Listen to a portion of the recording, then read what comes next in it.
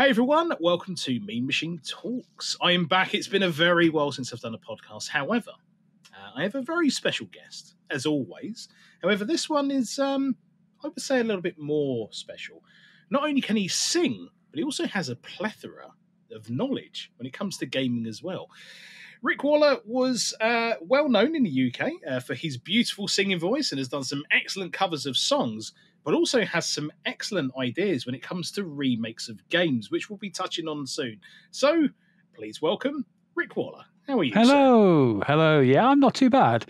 Not too bad. Very, uh, very happy to be here. Good. Yeah, likewise. It's um, it's a bit odd how our paths crossed. Um, it, it isn't every day I can say I've had a uh, what I would say a, a I guess I can call you a celebrity, can't I? A minor celebrity? Oh, 20 years ago, maybe. a, tw- a 20. well, well, to be fair, I was on TV about 20 years. No, would it be? No, it was more than 20 years ago. Blimey. Uh, 94. Yeah, it was well over. Blimey. Yeah. Um, yeah, I was only I was only a small boy then at Games World. So, um, but yeah, it's uh, it's strange how our paths would cross. I was on the uh, Retro Gaming Revival podcast, and your hmm. your name cropped up, and um, here we are. Here we I, are. Yeah, absolutely.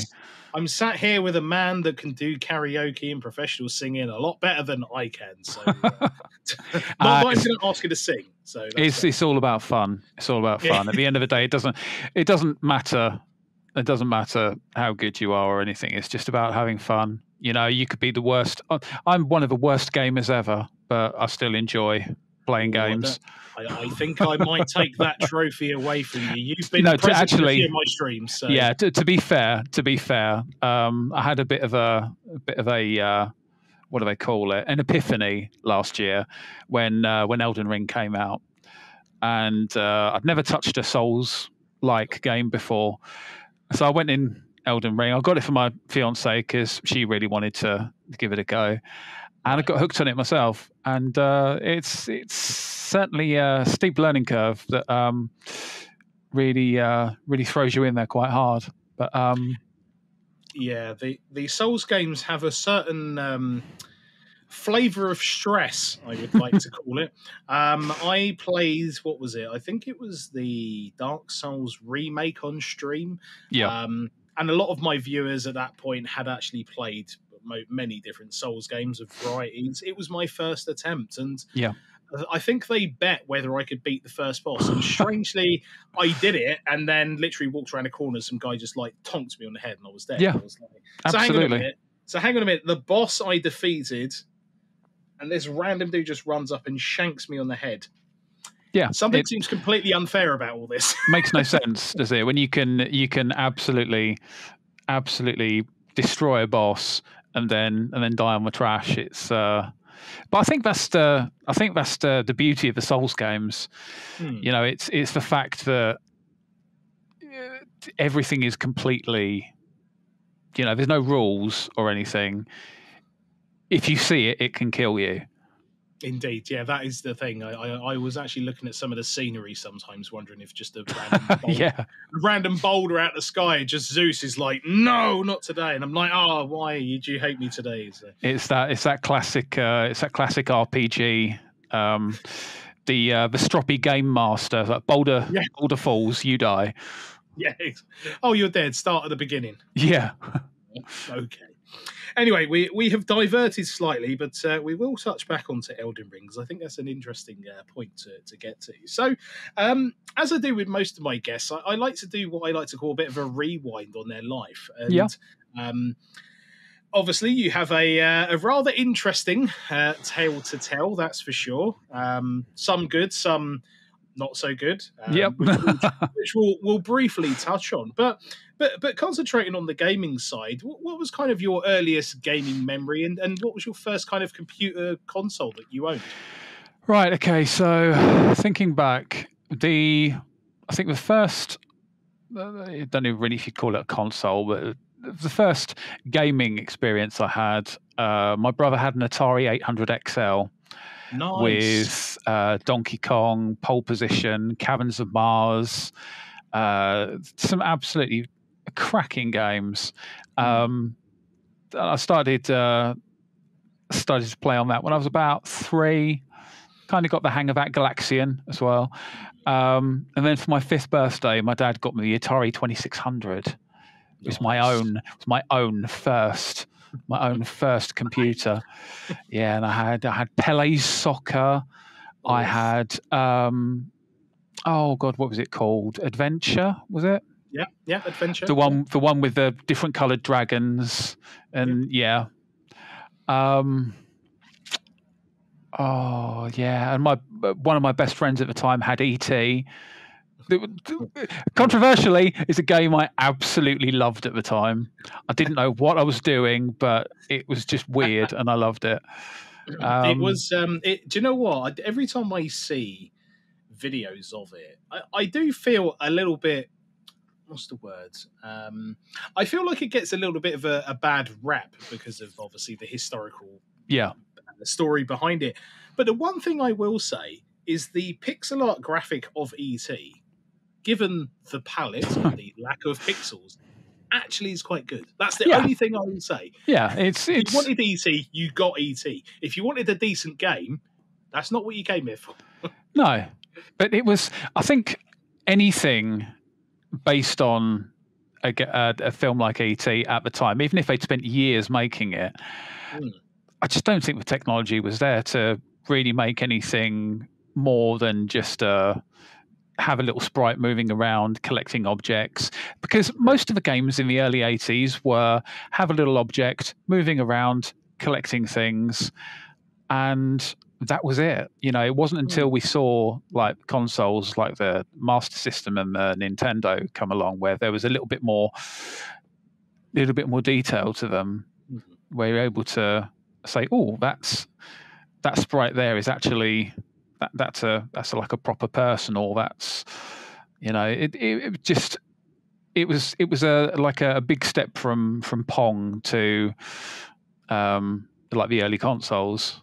Hmm. No, I, I agree with that. I think one thing that always surprised me, I guess, with the the early Atari consoles is the um, the focus on line graphics. And what I mean by that is if you go back and play something like uh, Missile Command, Hmm. in essence, all of it is is line drawings, and then you know you see a line go up, which then creates more lines. But you kind of build that the rest of the picture you use in your mind. And it's funny you may mention the 800 XL because one of my favorite games of all time on there is uh, Rescue on Fractalus, um, which is a LucasArts game um, where you've got like a ship and you go around rescuing uh, people. And as they come along, they knock on the cabin, and if you don't open it in time, they die, or you may end up with an, an alien that sort of ends up in the Yeah. interface. But but all of that was line drawing, and even though it had a frame rate of about two, um, you kind of built again a lot of that in your head. And uh, i think that's where a lot of the beauty of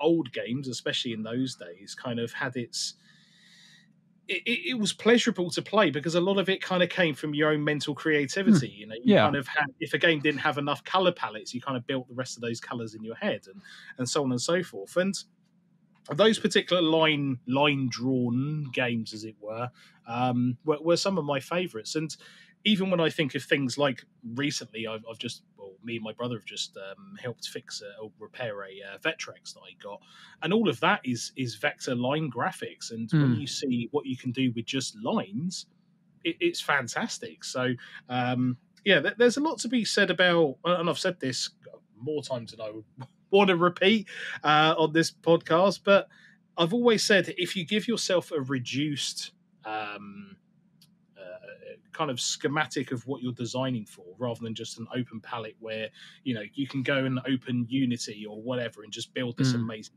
game with nothing but if you actually restrict the amount of you know color palette and the amount of pixels you've got and things like that i've always said it always breeds more creativity and i've Oh, yeah. always said that games that were made maybe even the, probably the Mega Drive ga- days and the SNES games, I think up until that point were probably at their creative mm, highest point because the technology was holding it back and Hmm. there were so many clever ways people got around switching color palettes and, and sprites and things like that and i just feel at that point when it tipped over to the kind of playstation n64 era there was so much more available 3D spaces and polygons and things like that that that level of creativity really just disappeared in an instance. And it's it's such a sad thing. But yeah the 300 xl uh, uh, sorry the 800 xl really has a uh, a bit of a bit of love from me that's for sure. I've got a lot of love for that thing. Oh the, the other game um I'm trying to think of. I can't. I can't remember what it was called now, which is really embarrassing because it was one of my favorite games. You're like in a spaceship and you had to warp through space and find these spaceships that you had to destroy and stuff like that. And I, um, you had to like go into warp speed and hunt things down. And oh, I can't well, think what it was well, called re- now. Res- Rescue on Fractalus had had warping mm. things in it, but I don't think you hunted other ships. I think you only just went to different planets to pick up the the guys that you had to rescue. But um, yeah, but again, uh, I I I've always said I think probably quite controversial. I've always had a soft spot for the for the 800 XL because I just think it was the perfect blend of the right amount of tech with the right amount of creativity. Yeah, and it just, and it just allowed the tipping point for someone's um, creativity in their mind to really make make the stories come to yeah. life.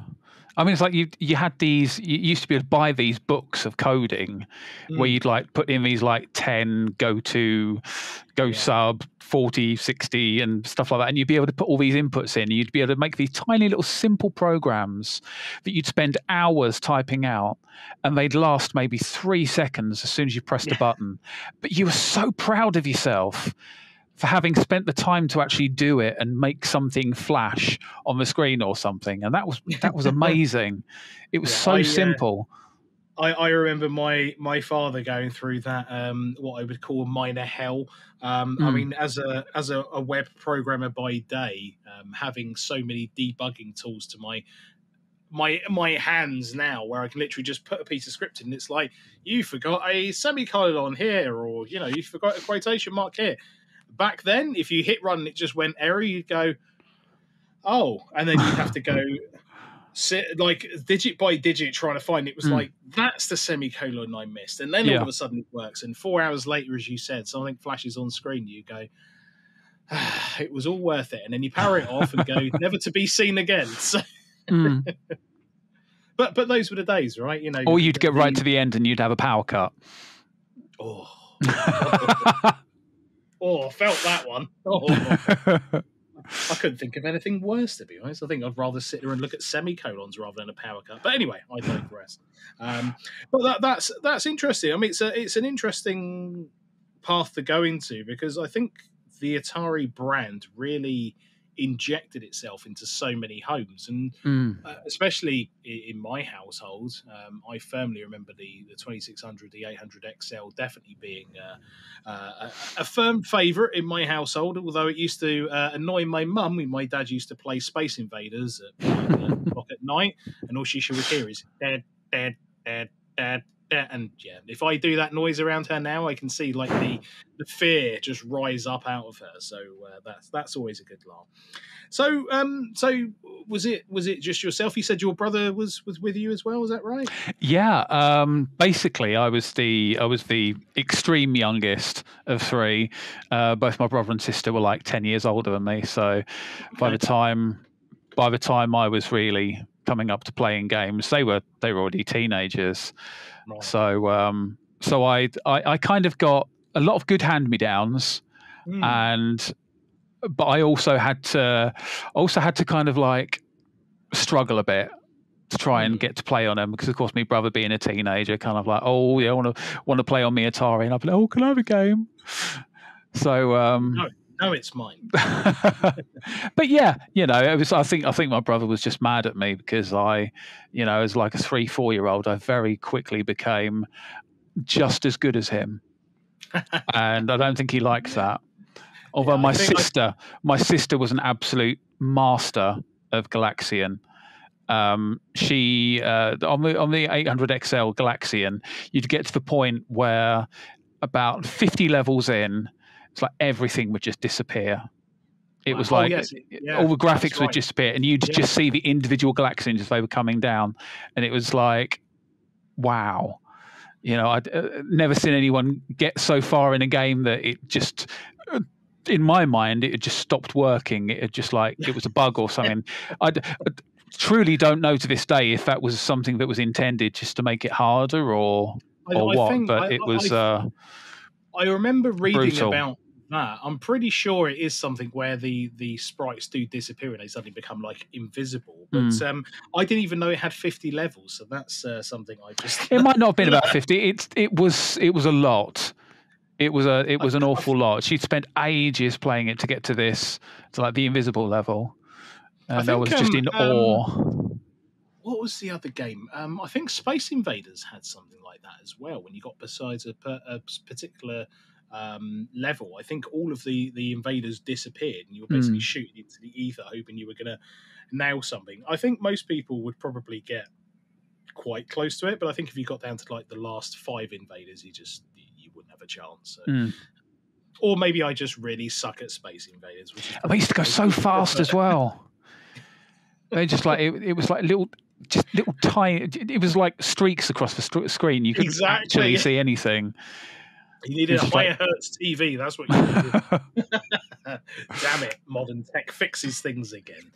Um, so, so that was your first, I guess, um, kind of you know, gaming console. Did, did you have a, a PC when you grew up? How? how No, absolutely not.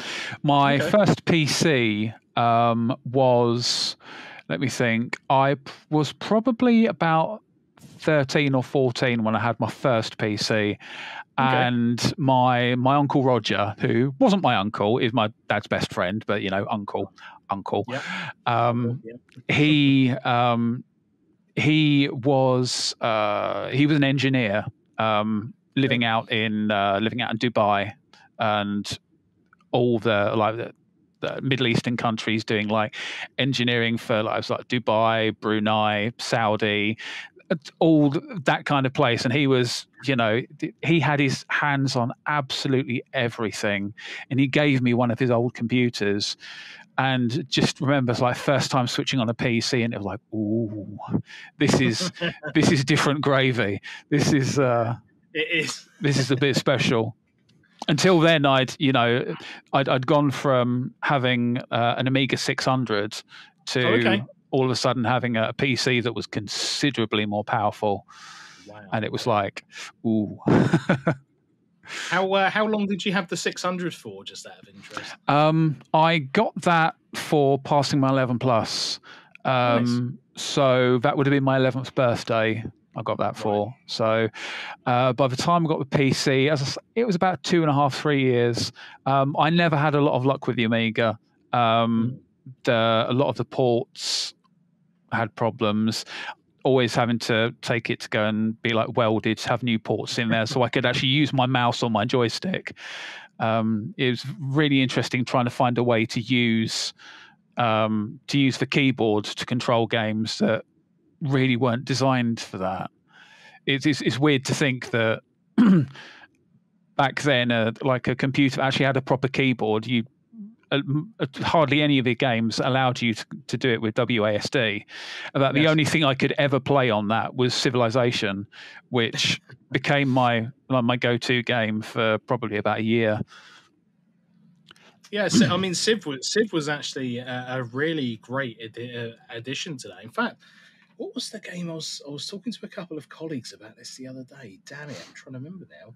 Um, it may have been Civilization actually. Um, God, blimey, that's that's really caught me off guard now. But yeah, there, there was um, another top-down, a top-down. Oh, it might have been Sim Sim City, I think actually. All right, okay. Um, the original Sim City, I'm pretty sure that's right. It was like a, it, it, it was very basic, but it but it Hmm. ran surprisingly well on the Amiga. Um, at least I thought it did anyway. Um, but yeah, again, it, it when I showed people kind of what it was before compared to what it is now, um, you know, th- that whole change of evolution of 3D graphics, and then Hmm. some of the Sim cities, I can't remember which version it was. You actually were able to get like a physical car that you could drop and then drive around your own city and stuff like that. But then when you look at the original, you go, how the hell did you go from this to this? yeah. How? Mm. But um, but again, I, I, think a lot of that comes down to the mental creativity, and when you are looking top down on a city, you kind of build the, I guess the the picture in your mind of how this whole thing is going to come together, right? Hmm. I mean, it's it's like anything. You you look at something basic and you think to yourself, "I wish that was, I wish that was a little bit better. I would, I'd love to see that in 3D, or I'd love to, you know, more detail on that." And you know that it's uh, the whole thing about creativity is taking something that you love and wanting to make it better. I think you know you, you take you, will always take um, inspiration from somebody else, and then think to yourself, "I can I, I, could do that better. I could have all these ideas to, for making something that could that could be better." And I suppose that's uh, kind of where a lot of my this this whole thing about uh, obviously with with RGR started up this special part of the show called Waller's Remasters, and it was a case of things that have have had such an impact on me personally that I would love to see somebody get their hands on them and make them into the glorious spectacles that had they been made 20 years later they would have been the the top the top games on the market, and uh, we'll, we'll, touch on that a bit later because mm. I, I, have a funny feeling we we are in a renaissance period of gaming, and I mentioned this might have been on another podcast. I'm trying to remember now that us in games right now. I think the genre that has had probably the biggest renaissance in terms of rejuvenating a genre is probably the side-scrolling beat 'em up. Hmm. Um, if you think of things like Street Fighter Four, uh, sorry, um, Streets of Rage Four, when that yep. got announced, I mean, that came completely left field. But hmm. the the the seismic shift in the gaming industry swiveled everybody's head around and went, "What? Yeah. And everybody, you know, it's going to be rubbish. It isn't going to be as good as the original and stuff like that. But then you kind of have to take that step back and say, well, okay, it's going to be its own thing. What are they going to do with it? And from that, we've had what the the Turtles. Turtles, yeah. Final Vendetta is a fantastic side-scrolling beat 'em up, um, and there are just so many that have now just exploded out of nowhere. It, it comes really in hoping yeah, I'm really hoping that there are other genres that, that go down this same route hmm. of rejuvenating these these old um, kind of genres that have been thrown away through 3D graphics, as it were. Yeah, it, it comes in waves, much like you know the the, the retro gaming. Um, uh, the whole craze about that is, you know, it's, it's something that like I say, you look at something that you absolutely loved and you think to yourself, I loved it, but what if I could make it better? Hmm. You know, take something that is absolutely sacred to you and be like, let's make this the best it possibly could be. Um, obviously, you got two sides to that. You know, you'll obviously have the people who are like, never touch the originals. You know, they they are absolutely sacred, and then other people who are like, actually, I'd really love to. This is the kind of game I'd love to play again for the first time. And, you know, go back in time and have those same same kind of feelings and everything. And you do get new games that are absolutely incredible that have all that feeling of the old games and evoke those same kind of emotions and mm. it's it's just something that's really good to see because you know old IPs and old uh, old concepts that at the time were probably held back a lot by the fact that we didn't have the kind of technology that mm. um, that could get that absolute perfect game out of them. And now we've got that, and it's like going back to, as I say, going back to something that you absolutely loved and thinking, you let's use the technology we've got now to make it as we remember it, or maybe what yeah. it should have been back in the day. I think the the devil's advocate in me, and and this is through some of the things that I've seen. There there are people who would pick up IPs and do what I would say is a good replication or, or remix or, or, whatever you want to call it of that particular title. But there's a couple. There's one that sticks out in my mind very clearly. Until this day, it's probably one of the most disappointing remixes or remakes I've ever experienced, and and that game is Gods. Um, mm. Originally released on the Amiga and, and uh, the Mega Drive, and I think it was on the SNES and a few others.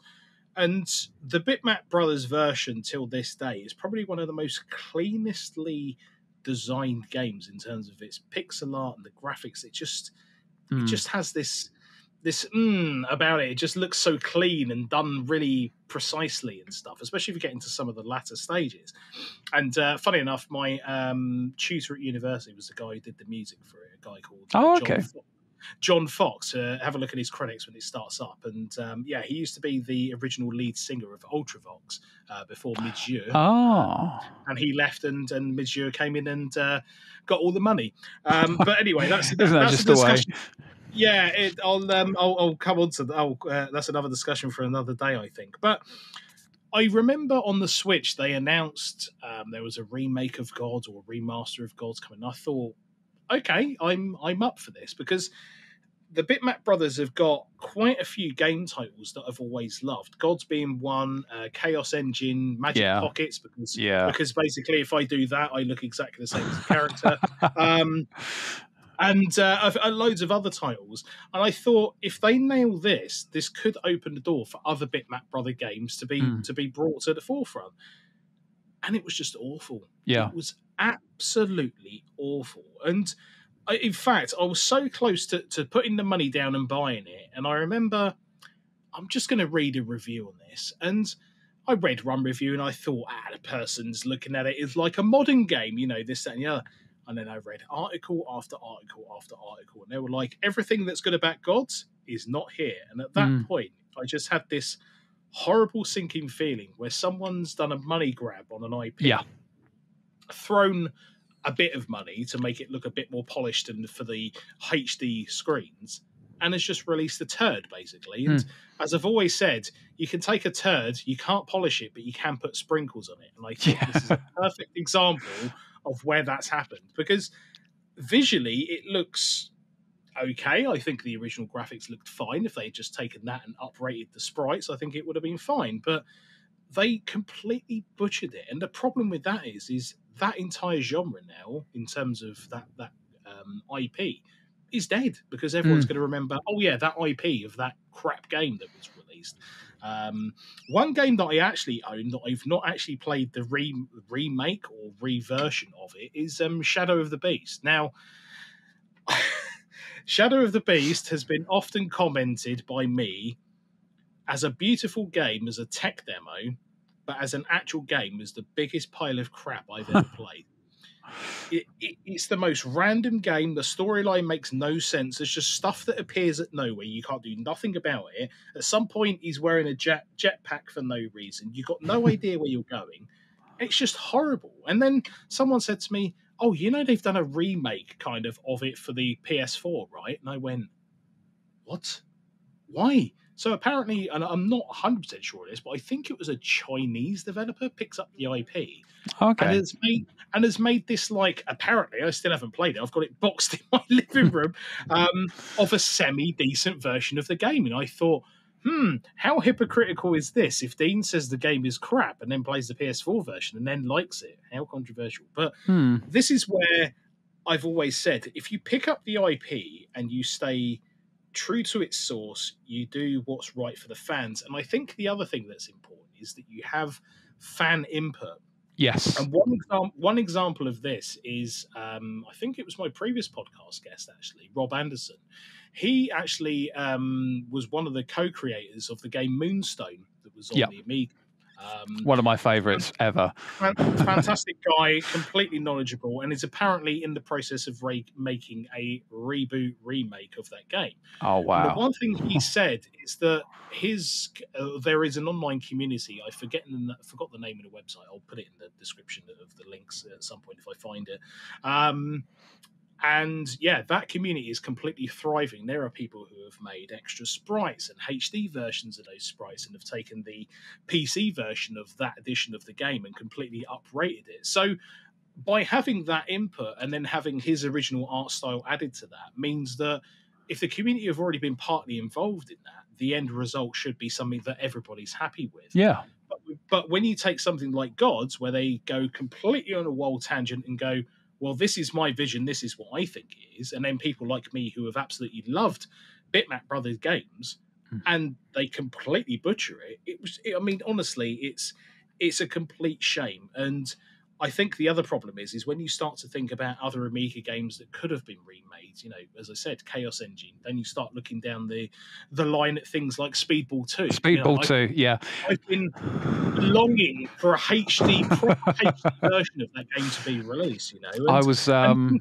and it scares me that somebody's going to pick that IP up and just completely obliterate it. As long as it's not EA, I don't care.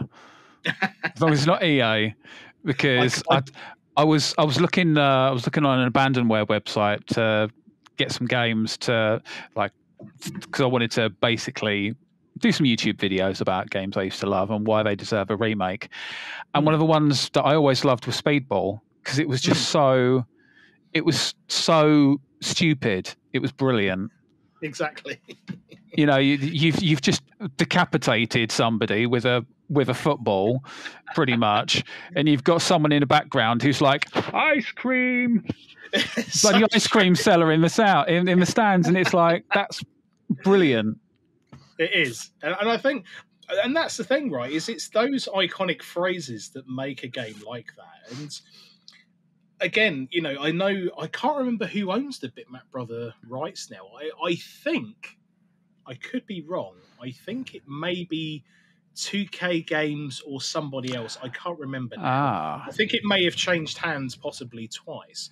Um, but again, the, the problem is, is you know, there are people who hold on to these IPs, and, and I understand. You know, I think um, Atari have gone around buying up a few old IPs and mm. things like that, and and I understand it's a business. It's good to have these IPs on board because you know, obviously, it's a it's a way of bringing in extra revenue. But at the same point, I think when it comes to to gaming, if you're going to take an IP purely on the basis of just being like, I have a thing, that is completely immoral. If you're yeah. going to take it and and try and do something I, I think that's a lot better. And as you mentioned, it's really sad that there are a lot of big companies, EA being one, that have thousands of IPs under their their waist. I mean, one EA game, which isn't an EA game, which which is now probably Disney, I think. Yeah um, which is an IP I have been longing for a reboot of, um, is the game Full Throttle, which is the point and click LucasArts adventure game. There was actually a game that was prepared to come out on the PlayStation 1. They canned it.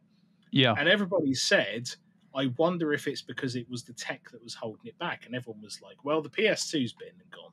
The PS3's been and gone. Is it going to come out? And then all of a sudden, Disney obviously snap up LucasArts. Mm you know, they've just obtained all of these hundreds of IPs that exist.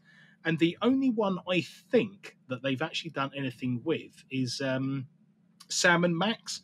They did a yeah. VR adventure. Um, there was a VR headset, uh, an Oculus or Meta Quest um, kind of adventure that was like point and click, but but in VR. And it's just a shame that there are just so many of these IPs sitting waiting to be relaunched. And and you know, as we've mentioned with Streets of Rage, when you get that perfect blend of nostalgia with modern, it just clicks perfectly. I mean, it's like there are so many there are so many IPs where people of my kind of age, you know, in their forties, from their heyday gaming in the nineties, and you could reboot these, and if you did it well, if you did it with love, and if you did it for the fans, yeah. you'd have an instant hit on your hands because all all the people of my age would be like, "Oh God, yeah, I remember that from from being like a, a young teen on the Amiga or on the SNES or uh, on the original PlayStation or whatever you were playing on, just being like, mm. "Yes, I'm having some of that." And I think I think you know it's so much uh, so much of a shame that money talks these days yes. because you know, the majority of the games that I genuinely think would would really capture the imagination and bring people back to to to their childhood. Uh, it's very short sighted because people don't see um, people don't see the the possibility for those to actually have that kind of comeback. They mm. they'll go with something that they think can make an a- absolutely astronomical amount of money, rather than making games from the heart. And I think hmm. that's why games like Streets of Rage and it's Shredder's Revenge, the, mm-hmm. the Turtles one. I think that's why it works so well because we all played those in the arcade or on our home consoles as, as kids. And we we long for that. Oh God, why do I have to be an adult? I want to be a teenager again. I, I want to have this this reckless abandon of just playing games until God knows how what time in the morning, and you know, it's it, uh, and other things as well. It's like in the last couple of years, games that were absolutely critically panned at the time, like Night Trap, having this massive resurgence, almost like an adult meme. Yes, it's true, and it's it's just incredible to see because I I got Night Trap on my Sega CD when I was probably about thirteen, I think. So I shouldn't have had it. I was a bit naughty there. um, but again, it was it wasn't a good game. In fact, it was a bad game. Mm. But because of the limitations of the technology, when you've got it, when you've got a new brand spanking new version running on better technology that that has better reactions to your inputs and you can it's actually playable. You know it's it's a lot better. It's cheesy as hell mm. but that's what that's what people love it for. The fact that it was it was so bad. It's like old horror movies. It's like yes. it's like evil dead or something. Yeah evil dead. Evil dead it's like i absolutely love those films because they are so bad hmm. and it's just brilliant the one bit that always makes me laugh i think it's the evil dead 2 when ash steps on the um, the trap door and crushes one of the, zo- or the zombie's head, and you see the eye fly across, but it's actually on a tiny little yeah. stick, and you can see the stick. And I was like, yeah. that just adds that little bit of charm that you need need to yeah. such a low budget film, you know. Um, but yeah, it, it, it's just a shame. But again, that's another series that really took a, a real downturn and has signed sort of kind of brought itself back up. Um, there was a terrible Evil Dead game for the Dreamcast and PlayStation. I mm. think hmm. there might have been two actually, if I remember correctly. Um, and then there was another one released which was just just god awful. And then there was another one that was released not so long ago, which I believe was an online multiplayer game. Yeah, it was a, it was a bit like Dead by Daylight. It was um, yeah, kind of like four v one, hmm. um, four v one like hunting kind of. Um, oh, I can't think what do they call it now, but um, yeah, it was this uh, actually pretty good. You know, mm. it, it was, as I say, it's it, there are lots of clones of very similar games like Dead by Daylight, Friday the 13th, the new Texas Chainsaw Massacre that's just come out. But Friday the 13th, uh, Evil Dead, um, it just had so much I just had so much imagination to it, and it was like it was from all the films and had like different different characters from all the films and everything. I know that most of them did, but it was just uh, like the different. It, it, the fact that it didn't take itself seriously at all course, was yeah. the is the best part of it because you don't want you don't watch a horror film these days to be like genuinely scared. You watch them because you want to have a bit of you want to have a bit of fun. If there's a couple of jump scares in there, yeah, brilliant, fantastic. But you want something that's just gonna entertain you. And sometimes even a bad film can be extremely entertaining. I, I, I 100% in agreement. I mean, I've definitely watched my fair share of um, poor films or low budget films, but there's there's a there's a charm about it, you know. And and again, I think when you think about um, even old games, you know, I mean, I was talking to people before about the original Spectrum and things like that, and I I'm not the hugest fan of the Spectrum. I do respect it as a platform. I do respect what it can do, but I think the one thing that I've always had a respect for is people always trying to make the best out of something that wasn't meant to do anything. You know, Mm. It was just meant to be a, a basic computer. And you know, there are, for instance, um, versions of the RoboCop game on the Spectrum, which when you initially look at it, you think, God Almighty, this looks like absolute hell. But you actually play it and go, do you know what? This is actually not bad, you know. And again, Yeah. it's kind of got that that charm to it. And I don't know if it's just because of the IP, but it's also because the the platform you're playing it on shouldn't really be doing this, but someone's Yeah. gone to the end of making it. So it's almost got that that little bit of low budget charm to it, a bit like the Evil Dead, you know. Mm. No, and I think um, certainly with are a fair few games that coming out at the moment that um, uh, I was watching. Uh, watching a, a channel on YouTube the other night, and they were saying about games that released on dead consoles, and one of the one of the games that's been mentioned around the groups on Facebook. Um, one that's just released for the Nintendo Entertainment System, like literally in the last in the last month, and it's just like it, just like it, the, the reviews it's getting are absolutely incredible, and seeing what they can get out of a 35 year old console is you know because obviously they have the technology to to be able to optimize everything. They know what they can and what they can't do. And even one um one game that puts a um, a Wi-Fi chip inside the cartridge, so you can play you can play this NES game online. Whoa. Yeah, I it's mind-boggling, and I, I can't remember what game it was, but I saw it. I saw it advertised the other day because they were saying about uh, the incredible advances that you know imagination, modern imagination that people use on retro things to to get stuff out of them that you'd never you'd never imagined would be possible. And with the technology, Well, you shouldn't be able to do.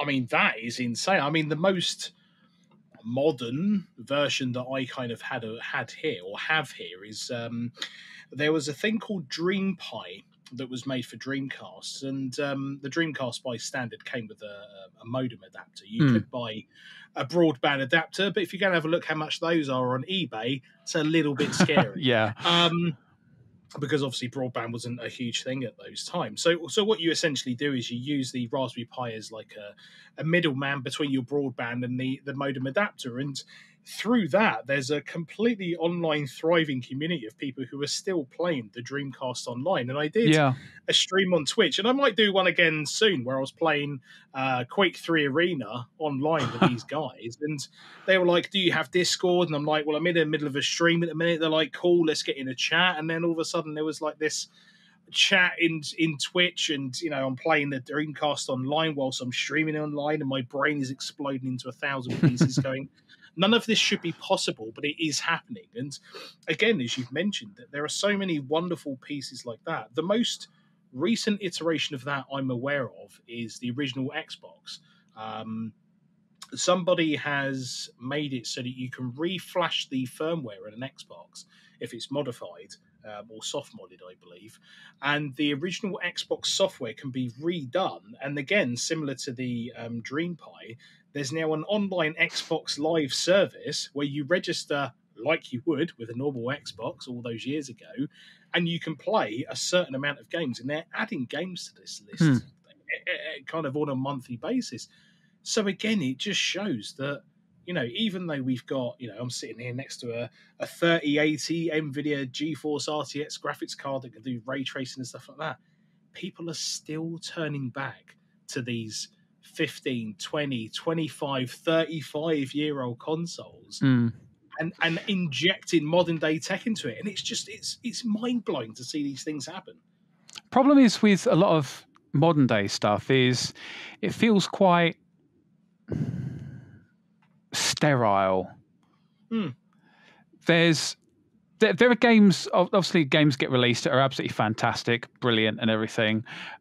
But certainly around the indie scene is where you see a lot of the a lot of the most amazing games come out because Mm. they're almost not because it's a labor of love. It's not something that you know you've you've been told you've got to do within six months, and you're you're crunching hard, and it release with releases with loads of bugs and everything. It's something that maybe half a dozen people do in a small office or in their bedrooms. You know, you'll have one guy doing the music, one guy one guy doing the the coding, and somebody else doing the graphics and the story and stuff, and they'll all like throw their ideas in and you know after a year or two they'll come out with this really cute little game that will just capture everyone's imagination and just be like that's incredible. That that is a labor of love. That that's not something that was done for money. That is something that was done for the absolute pure enjoyment of doing it. Perfect case in point one man toby fox undertale. Mm. Yes. when you look at that game, that's that that is the ultimate. Uh, that is the uh, the epitome of a passion project, Absolutely. and it caught everyone's imagination so so massively. And the fact that it was a retro style game, but in terms of what it actually did, um, no spoilers for anyone who hasn't played it, but there's some really creepy stuff in there, some real fourth wall breaking stuff. Mm. And you're like, this is so well programmed. You know, the fact that you don't see this kind of stuff hardly ever, even in AAA games. And yeah, there's this one guy with his computer who's just done the whole lot and he's turned it into this really creepy thing that really messes with your head as well. It's like, wow, that's you know, that's special. That's a that's a once in a generation Mm. kind of special. I agree. I mean, one one other gentleman who comes to mind. I keep plugging my own podcast, which sounds like I'm trying to get more views, and I, I promise I'm not doing this on purpose. But um, a couple of episodes ago, I had a, a gentleman on called Fran, and he made the game Unmetal. Um, Mm, which the only way I can describe it is like a very tongue-in-cheek version of the MSX version of Metal Gear. yeah. It is full to the brim of comedy, but the gameplay is excellent. The scripting is excellent, and one of the things that fascinated me the most was, as you've mentioned, a very very small amount of people. I think it was just him, and I think a couple of voiceover artists, and that was it and what was fascinating was that he's built this i guess ecosystem of, of a community through some of the other games that he's made as well where people have said do you want us to help with the translations of this game into a Hmm. different language do you want us to do the voiceovers for this and again that whole sense of community coming together to just expose this game to other people it's just it, it's it's the perfect example. And you would never see a AAA title do that. Very No. very very rare. You would ever see a community probably modern day times where people have taken like a Japanese game and reconverting it for for western markets. But uh, in fact I can't even think besides old retro games of a modern game that has been taken and completely rejuvenated by a community Mm. but there is a single one that comes to mind at the minute. I mean, you do get some. Um, it's like the Sonic Frontiers, the new Hmm. one that's come out, released in uh, certainly on PC. I think uh, they did it for, but it released in a not a great state. I mean, a lot of stuff Yeah. doesn't release great on PC, but then the modding community, they're like, right, Yeah. okay, bang. Within two weeks, they've released all these patches from the modding community Mm. that the developers haven't even managed. And that is that is the power of the community, the gaming community, the, the the fan community, the enthusiast community that Mm. exists. And I, the, the only thing I wish, I, I have a big problem with Bethesda. I, I love like their you think, yeah, games. wait in line. I, I love their games. I think Fallout specifically is like one of my favorite, one of my favorite IPs. Mhm. but they oh, they they they mess so much up. But to their credit, you know, they do. Uh, they're kind of. I want to say very enthusiastic about modding, but Mm. that's probably because they monetize it. Yeah. But I think if every if every developer was as accepting, I mean, if you look at you know Skyrim mods, yeah, completely nice. transformative. Um, Skyrim, Fallout, you know, whatever Bethesda game you want to criticize, there is a modding community that has come along and said, let's either make it better or let's make it really damn funny. Yeah. And and do you know what? The Skyrim example is probably one of the examples that that probably is the modern one that I was searching for actually, where I I genuinely believe because of the amount of mods that have been made for that game, it has kept it going for Hmm. year after year after year.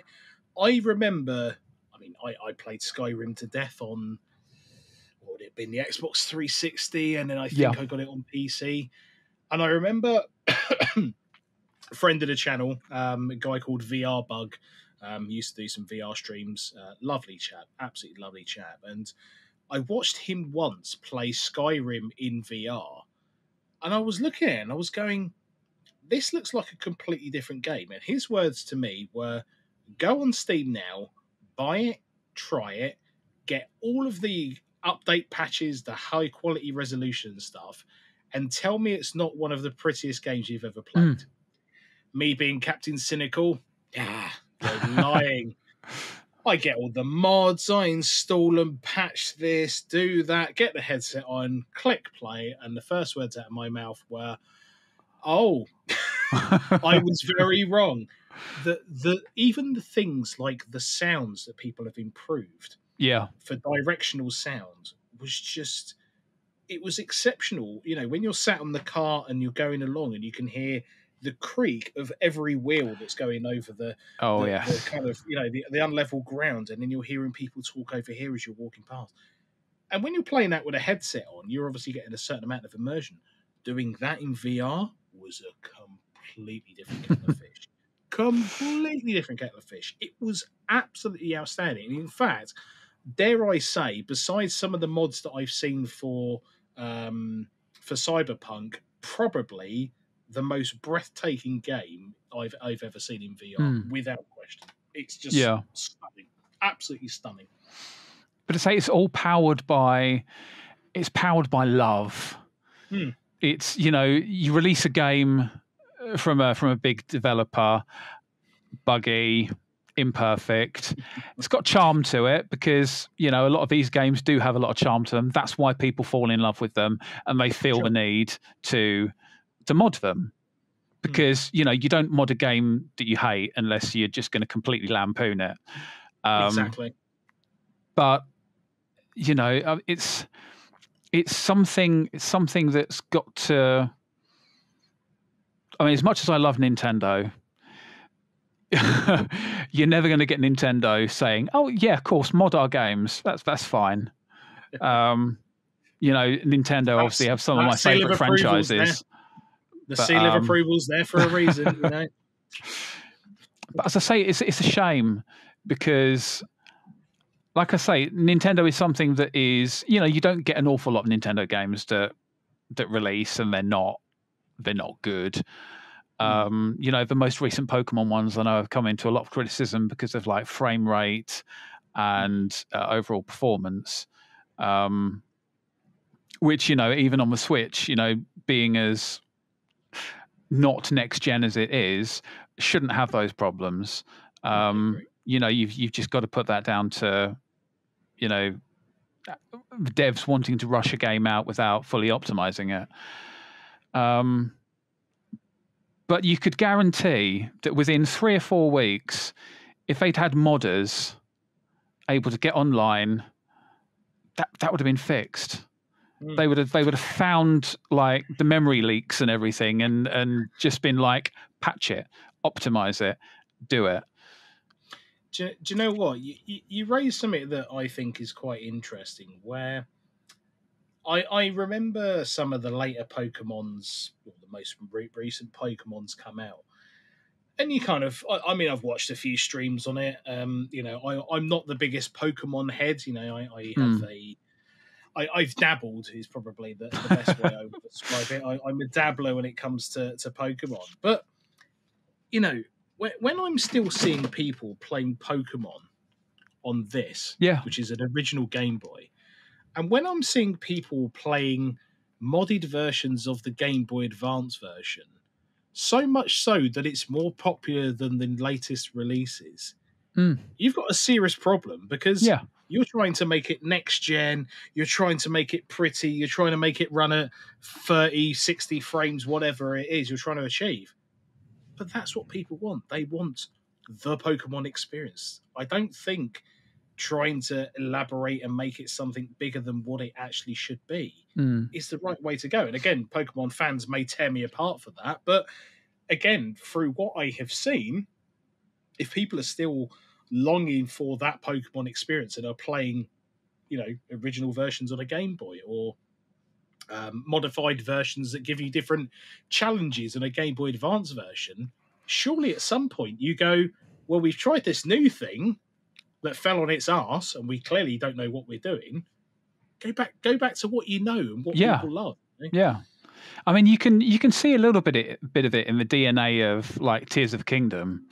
Hmm. Um, haven't played it myself. but I've watched a fair bit of it, and obviously you've got the uh, the element where you combine things and you like you mod your weapons and stuff and you use your creativity and uh, even the devs have come out and said that in like the first couple of weeks of the game being released, people are solving the puzzles in ways that they didn't even think were possible, and they programmed it. Mm. And it's just, it, it's amazing to see. That, you know, obviously these people, the devs, they are like the beating heart of the game. They they make it what it they make it work or they make it not work. Mm.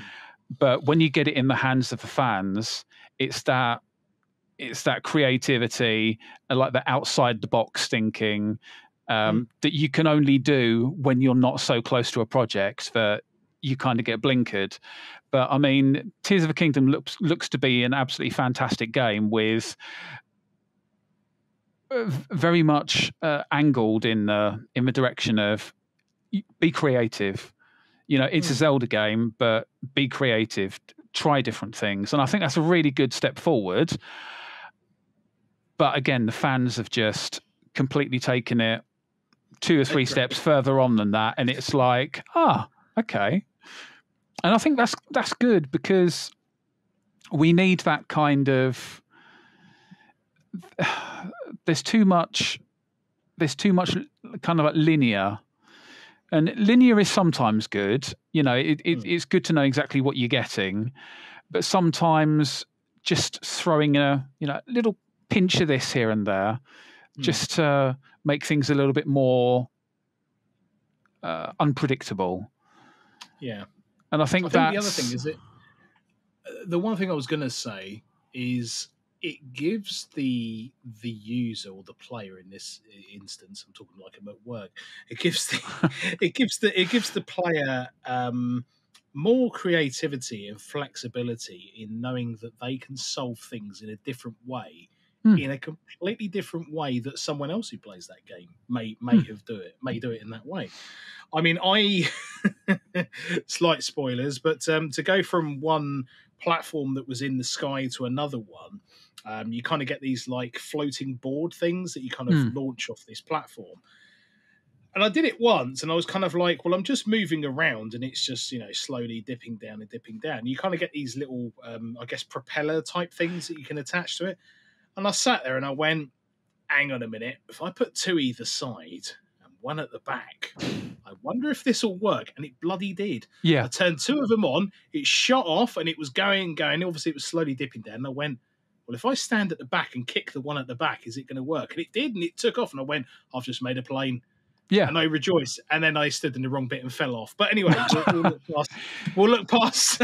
but again, you know, the, the way you're meant to do that because you're meant to move around that platform to kind of keep it gliding and stuff. Mm. And I just went, screw that, I'm making a plane. Yeah. I'm doing it how I want. but it's it's that kind of imagination that came from toys like Lego.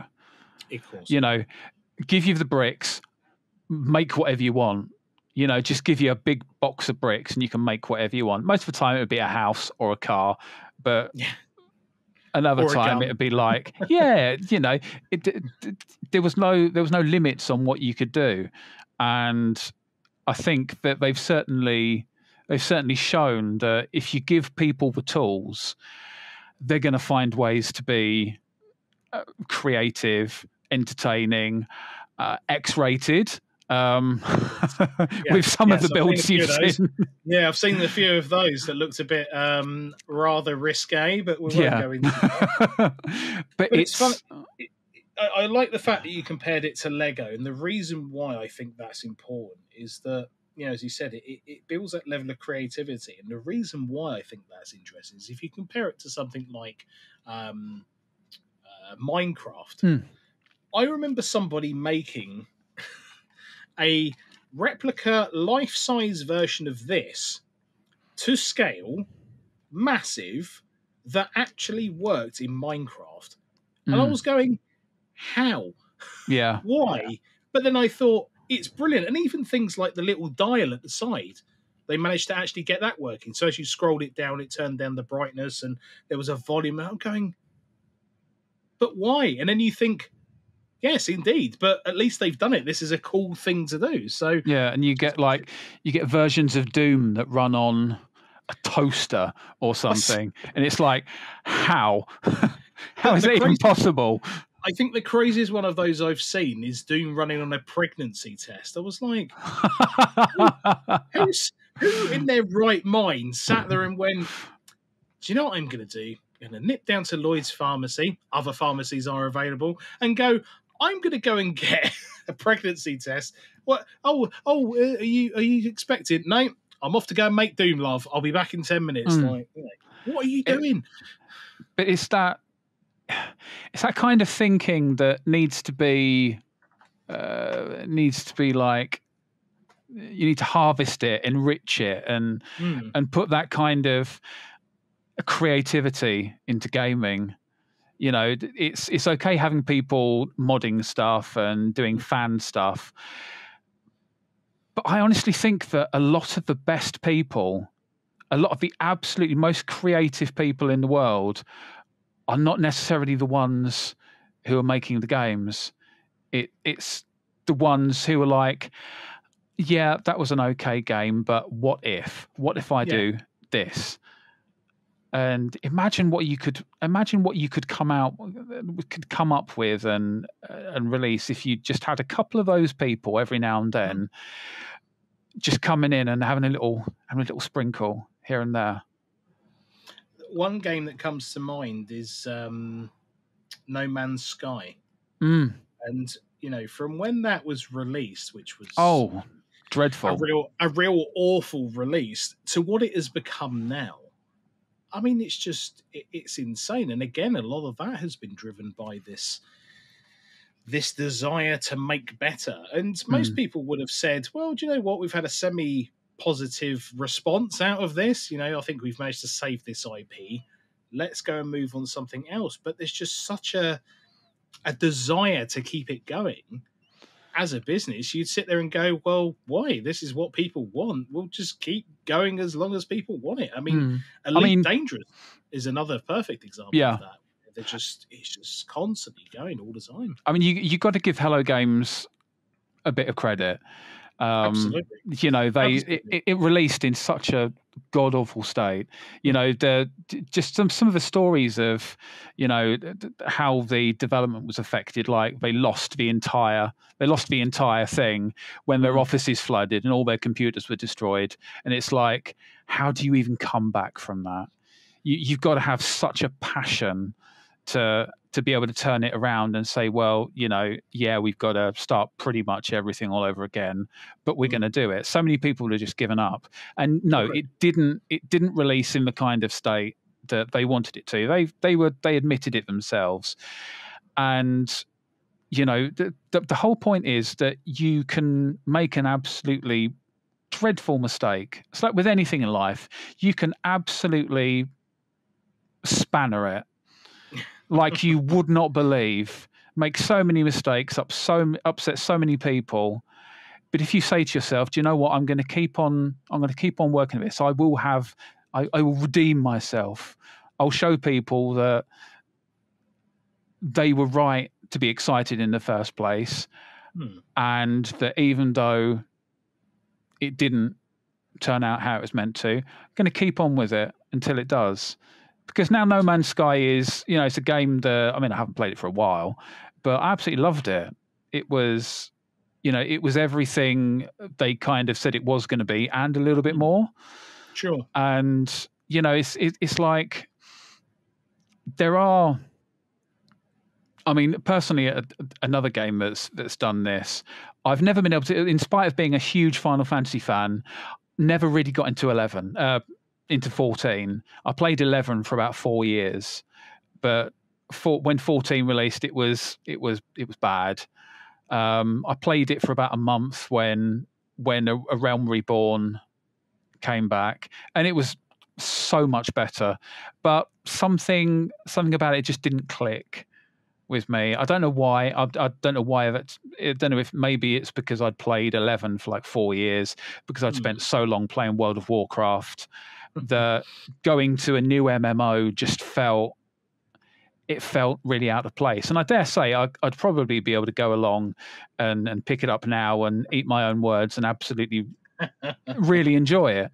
Um, but MMOs are a huge commitment, really, really huge commitment, and certainly, um, yeah, probably not the kind of thing I want to be getting into that kind of depth. So, little enough free time as it is. So, You, you you mentioned something there about um, No Man's Sky, and and I feel I feel like it was almost the perfect description of yourself to a certain degree. Um, you know, I mean, if we touch on your your music career slightly, um, you know, I I I myself remember you uh, winning and uh, and being very successful with your music releases and stuff. And um, you know, I mean, I'm talking to you here now. You know, I've never had any. Um, what would I say? Prior judgments of yourself, but obviously, you know, similar to the the release of No Man's Sky, there was so much negative hate because of what the the media had drummed up, similar to Mm. your life, and and you know, kind of this whole whirlwind of news gets caught in, and as we all know, controversy sells, whether it's the music industry, the games industry, or, or any other industry, and um, I I think the one thing that that I will always remember is um, your talents when it comes to your singing ability. You know, I don't think anybody could ever doubt that. Um, in fact, before we came on the air, I actually had a quick look at YouTube at one of your uh, Oh, dear. and, and and and funny enough, I just wanted to gauge where people's minds were at. And sh- the shocking thing for me was is that I was initially going to see what I thought was a lot of hate, and strangely, there was comments that were three, four, a year ago, and it was incredibly positive to see people say, you know, let's cut the BS. The man's clearly talented. You know, it's one of my favorite versions of this song and things like that. I've got a lot of friends. I've got a lot of friends with a lot of YouTube accounts. Paid off a lot of people.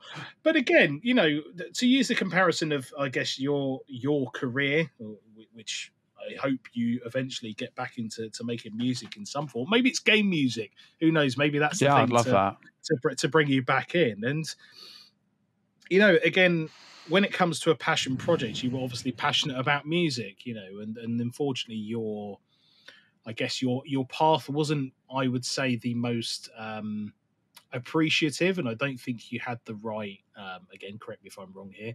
I don't think you had the right people guiding you on that journey. Um, and that's probably why you lost a little bit of your way. And I think everybody's guilty of that. If Hmm. you if you if you surround yourself with the wrong type of people who are yes yes people or they are using you for their wealth or you know they're trying to get something out of you whether that's a skill set or something like that the impact that can have on you long term can be incredibly damaging but i think at a core if you stay true to yourself your skill set and what you do similar to you know the, the guys at no man's sky the truth can't be taken away from what what you have made. And you know that i think that's why um you know, for, for anyone who's who's listening or watching this, you know, I, have spoken to to Richard for for a, a, while now, and you know, I've not had any issues with him. You know, we've spoken about a few things of your past, and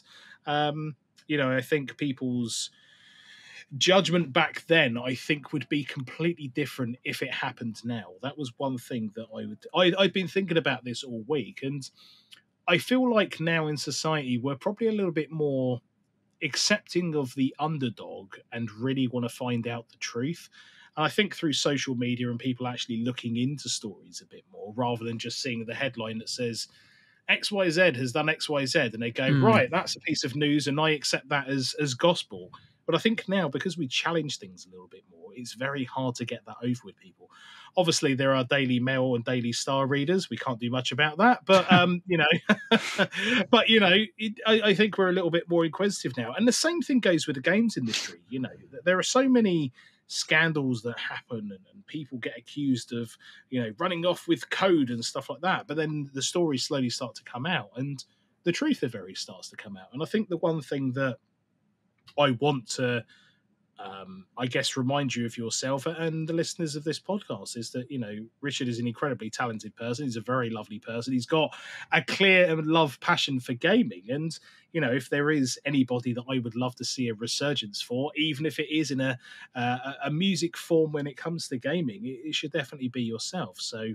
Um, anyway, that's that's my TED talk over about Richard Waller. But uh, you know, again, I, I think you had a very well, I mean, I can't say you didn't. You did have a very hard time. Um, we all in the UK witnessed that, and I think it was um, incredibly narrow-minded of many people who jumped on the person that was being kicked down and thought that that's the right thing to do. But I, I think the media have changed their ways. I think a lot of um, the media has had to change because of things such as mental health now being such a an epidemic in this country. Mm. Uh, hmm. me myself, suffering from from mental health issues myself, um, I have a lot more respect for the words I use, the way I deliver them, and and the things that I think about before I say them, because I think there's a lot of chances where you have that extra few seconds to think about something, and once it leaves your mouth, it's very hard to take that back.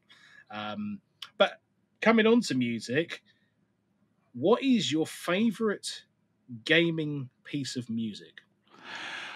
Oh, there's lots. There's lots and lots. I, I mean, was expecting to say that. I mean, uh, just to just to go back a, a little bit, um, I think whatever whatever kind of era you're in, with with uh, terms of whether it be press or social media and everything, there's always going to be there's always going to be an agitator. Of course. There's always going to be uh, something trying to upset upset the flow.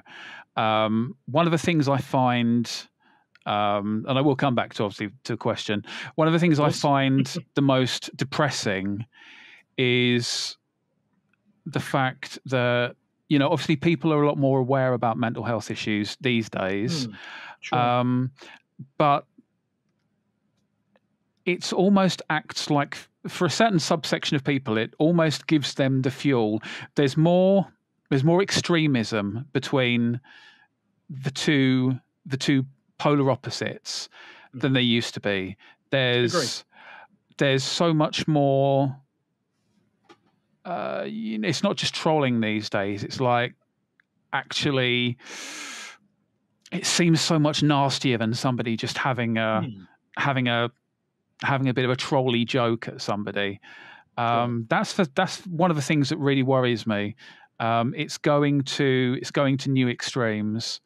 Um, I don't get me wrong. I've been guilty of some stuff in my past. I've there have been times when I've been a very angry person looking to lash out.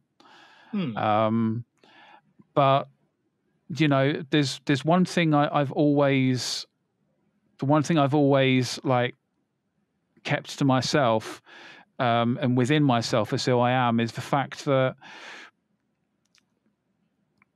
you know people regardless of who they are where they come from regardless of, regardless of gender um, sexuality race religion anything you know we're all we're all made of the same stuff and it really pains me to see. I mean, I, I don't have any kids, but if I if I do, which my fiance hoping I fiance is hoping that I will, obviously. Um, one thing I I look at and I think to myself, it's almost like you've got to be on a crusade to stop the negativity from Yeah. from festering and spilling out because it's just like everywhere you look there's another there's another like bonfire of hatred springing up and uh, whether i you know whether i've just had my rose tinted glasses on for the last 40 years and it's just really coming out now or whether we have become a lot more whether certain sections of people have become a lot more empowered to share their extreme views. It's it, it's worrying. And you know it's i feel that it's only going to get worse.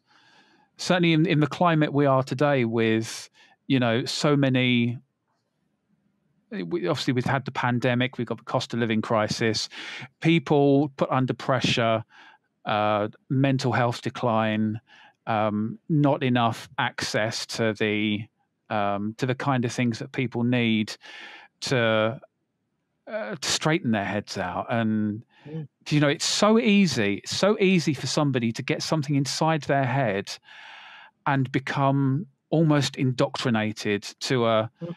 to a way of to a way of thinking and you know all you've got to do is look at like the political stuff we've had over the last 5 years or if you look to America hmm. all the all the polarizing one side or the other and it's it's genuinely scary. Genuinely hmm. scary to think that we could hmm. you know we're we're in peacetime at the moment but we've got a war at our very core in in who we are and you know how we act how he acts to other people. And it's it's so easy to to get to get drawn in on that. And i think that's just it's absolutely heartbreaking. Mm. because you know at times at times like now when you know we things are things aren't great you know we shouldn't be putting each other down. We should be looking to you know pull together and you know fix the mess that we've been left in you know because if the people at the top aren't going to aren't going to help us you know it, it's us it's up to us at the bottom to Mm. to say right okay well let's club together let's mend this let's put our differences aside and you know actually be decent human beings I, I, So- I couldn't I couldn't agree more. And I think an example I would use is not to dwell on war, but if you think of you know this country when World War Two was happening, you know places were getting obliterated and people didn't turn their backs. They they were taking people in and helping each other and sharing rations and things like that. And Mm. you know, I'm, I'm not saying that we're we're we're in that type of scenario, but it, it almost needs that kind of um, sense of community, you know. Yeah. and and I think part of the problem is, and, and it's very interesting that you mentioned the the US. I've always said that the US is a very welcoming and warm place, and and you know, similar to the things that you've mentioned, they have a very I- guess open atmosphere when it comes to, to people of all different ethnic origins, and well, I mean, the, the, the entire country was built on immigrants near enough yeah exactly um, historically. But um, you know, when it comes to voting times, I've always said, you know, it, it must be awful to think that you only have two choices. You know, you're Mm. either Team A or Team B, and the problem is, is that and unfortunately, you're starting to see a little bit of that here, where if you're Team A, then Team B has to hate you, and it's like, well, Yeah. if I align with this, then that's my choice. But at the end of the day, we still want what's best for everybody, right? Yeah, it's not like Absolutely. I'm I'm picking Team B because I want to see you fail. And I think that is the problem that exists, and this exists all over the world. It- It's not just within the Western world. Um, I, I think it's it's a it's a major issue, and and when you come into people having a higher power in dictating things to, to spin it into a, a gaming side there are particular people that i can think of in my head that are even in the retro scene or, or other different areas of gaming who who gatekeep a lot of Hmm. gaming um, a perfect example is I, I saw someone a long time ago tweeting about um, I think it was a, a, woman who was tweeting about retro gaming and stuff like that, and the amount of hate she was getting because she was just a woman who happened to be enjoying retro games. I'm like, yeah. what? Why is why why is that a problem? You know, gaming is not an exclusive thing to men. It's not like, well, men invented it, so it's our thing. We can look Mm. after it. It's like it, it's open to anybody. There isn't like a you must tick this box in order to do this and that. I mean, it's it's absolutely barbaric. And one thing I saw recently that actually made me really sad was um, it was actually during my Twitch stream, and um, obviously, if you don't have, if you don't subscribe to my channel, you get adverts. um, unfortunately, but one of the adverts was um, uh, I think Sky were doing some sort of campaign, and they invited like a group of male gamers to sit in this room. And as they were playing this game, they were feeding like insults that women would normally get during Yes. online gameplay. And I, I was like, it's 2023. Are we seriously still going through this? And it, it, it, it was, it was almost like I had this internal, co- internal confusion where I was like, I'm really happy that they're doing this, but at the same time, I was like, Christ, like we're, we're still having to go through this. And yeah, I've interviewed um, a variety of different people. In fact, one interview that I'm hopefully is going to be uploaded very soon is a, a woman who runs a, a Counter Strike um, CS:GO team.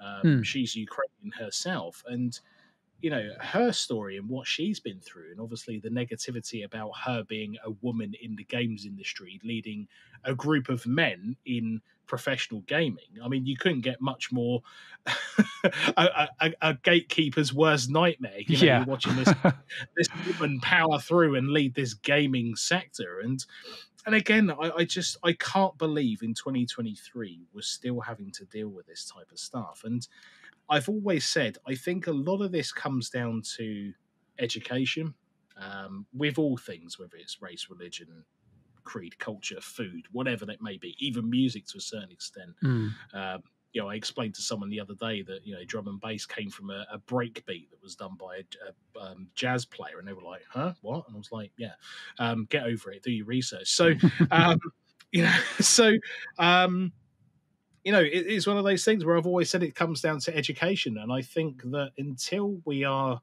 going to be open and honest with having what I would deem awkward conversations about real life issues. Things like gatekeeping in gaming, things like, you know, the, the social anxiety that people in power can impose on people, such as what happened to yourself. Until we start having those very, very serious conversations, I, I can't see things like that changing. And, you know, I remember working in a game station many moons ago, and you know, you would see a, a, a girl come in or, or a young woman and she would pick up, I don't know, a copy of FIFA or whatever. And you would kind of go, what? What was she playing that for? And then, you know, fast forward to 2023, the England football team are a lot better than the men's. So, Yeah. right? so again, you know, it's it's that whole thing of you know, when I was back at school, if you saw a girl kicking a ball, you turn your nose up because you didn't know any better, and now they're they're you know they're some of the top elite athletes in this country. So yeah, absolutely. it just- and, and again, a lot of that comes down to research because I'm pretty sure that a lot of what I would say hardcore elitist footballers or football supporters would probably have turned their nose up at a Manchester City player or, or a Manchester United player or a Reading ladies football player going, oh, what are they kicking the ball for? But then suddenly when they see the the reward that's coming back, seeing them play at this elite level, Mm. seeing them at an international level, performing at a, at a level that's better than the men, you cannot deny that the the, the level that they're playing at is is at the same level as the men, and um, yeah, it may not be as physical, but that the training and everything else that is in- I- involved I reached tell you what, you may say it's not as physical, but I tell you what, some of the some of the times they get into scrapes with each other. Oh, Oh yeah, blimey! I Yeah, I mean, have they they put the they put the men to shame, and when they when they go in for hard tackles, it is really hard tackles, and they get straight up. That's exactly. That's that that's exactly, the thing. that's there's no thing. there's no play acting in women's football. It's true. It's so true. I've seen um, I've seen worse tackles in sensible soccer when the men have run, and, and that's in pixel form, you know. And and you see um, you, you see some of these women, as you said. I mean, I saw a double leg tackle the other day, and I Mm. winced, and I was like. The other girl just stood up, like, "Go on, then have another go." And if it was the guy, he would have rolled his way down the tunnel and you know onto the uh, medical table. But um, yeah, th- But there you needs have- to be some some some education around it all. Is, is You is have to wonder is it is it is it just a money thing? Because if you look at it, most male footballers, it's not just the wages, it's the sponsorships, it's the it's uh, the uh, the popularity and everything, Hmm. and it's it's not just about wanting to win the game. It's like doing anything to do that, and obviously a lot of these uh, you do see still see some really bad tackles in in men's football um but it's always the, the constant thought of if i don't dive do i get Yeah. injured Sure. am Yeah. i going to Yeah, be out of the game for three months with Mm. cruciate ligament or broken ankle or or whatever so you can you can kind of see the psychology behind it because because it's so aimed at money and a play a, a world class player who misses six months with Hmm. broken bones, ligament damage, whatever like that. Yeah, I can understand. That's an absolute nightmare because Sure. it's that constant mentality of I have to be the best. You know, when I retire in 10, 15 years' time, I have to be the best player that's ever existed. You know, I, I, I have to be at the top of every leaderboard, the top goal scorer, top assists, most games played, most minutes played, and you know, it it's it's all it's kind of almost like min maxing Mm. on a like a a sporting level, and I, I think it's it's a vic, it, it's so much a victim of itself um, because there is so much money involved. You're expect you're expected to. It's like when you go and see a, a, a new movie. If it's not the best movie ever, everyone's like, "Oh well, that wasn't a patch on the old one. They've really lost their way." It's true. and you It's know true. it can still be a serviceable movie but if it isn't the best one in the series it's like what was the point in that? Why did they bother making that one? Mm. and it's that it's that expectation. So you can see why a lot of this takes place. Um but you know as as you say it's uh you, you certainly get a lot more uh grassroots and uh so a lot more physical in the women's game I, and I it's fun. back- yeah, it is. I, I think one of the things that I said before was about the, the company you keep, and I, I I was quite shocked when I read this the other day. Former Manchester United defender Wes Brown was Mm. bankrupt recently. Yeah. And when you think about that guy's career, playing at one of the biggest clubs in the world, winning the Champions League, Premier League trophies, FA Cups, you know, and again, he must have had such horrific people around him to Mm. lose all of that money is is astonishing, you know. Yeah. And, and again, it, it comes down to those few decisions that you can make in your career and in your life that just completely obliterate all of the hard work that you've done. Um, and, and it's a shame, you know. I was genuinely shocked, and, and it seems to be again a, a big problem that you know the the lifespan of a, a, footballer is is incredibly short. But again, at the same time, if you're not thinking post the game, this is where these issues arise. And he's not the only one. I think um, David James was another one who went Yeah. bankrupt. And, you know, he was, you know, I wouldn't say he was the best goalkeeper in the world, but you know, at the time Oh, he was in- entertaining. He, Yeah, he- exactly. He, he did us. He did us a good turn. He did us a good turn.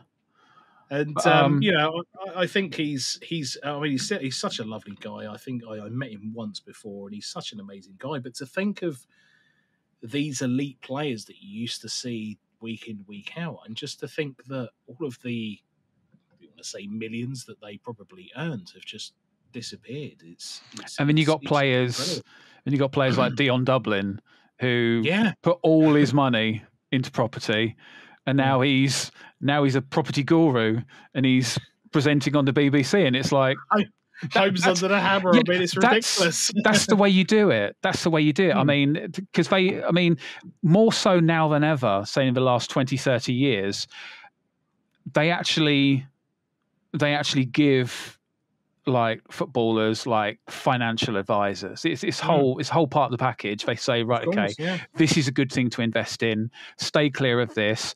Don't buy this. And, and most footballers you see will put virtually every penny they own into property because it's gonna it's gonna be a, a constant source, like a, a constant pension when they retire, and it's just going to be that. You know, I I would have loved to have had the kind of money to to invest that kind of level in like property now that would be worth like 10 times what it was uh, than at the time because that would have set me up for life. You know all things aside though you know you you kind of make the best of a situation you handed at the time. Of course. um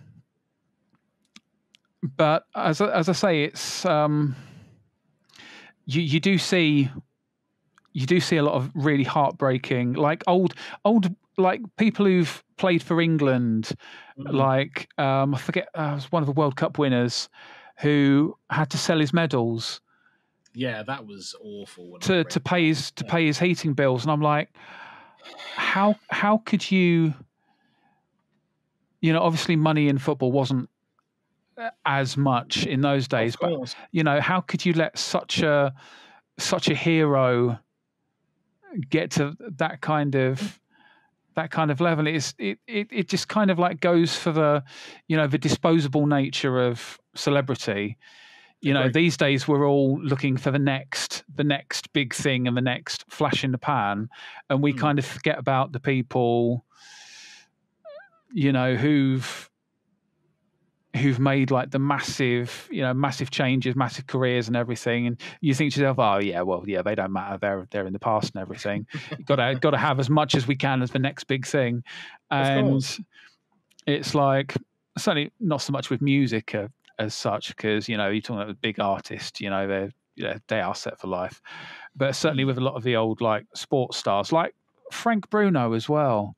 Mm. you know he he he'd been through just like some absolutely horrid times a guy who suffered so much with his Mm. with his mental health and you know fair play to him he's you know he's done the bravest thing you can possibly do you know he's documented it and he's been Mm. like right okay this is this is the pro- this is the problem we have in society these days you know where even household names even people who you wouldn't think had a care in the world you know they struggle Hmm. and the, the most shocking one of those I ever heard was um, Tyson Fury.